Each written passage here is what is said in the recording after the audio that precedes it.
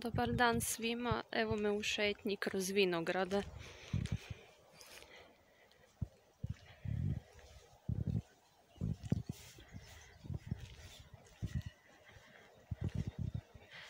Danas je oblačno, ali toplo.